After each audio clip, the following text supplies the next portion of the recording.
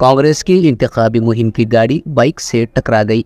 भुवनागिरी कांग्रेस उम्मीदवार की मुहिम की गाड़ी ने बाइक पर सवार दो लोगों को टक्कर मार दी, जिससे दो बाइक सवार शदीद जख्मी हो गए। मकामी लोगों ने इस वाक़े की वीडियो बनाई और पोस्ट कर दिया।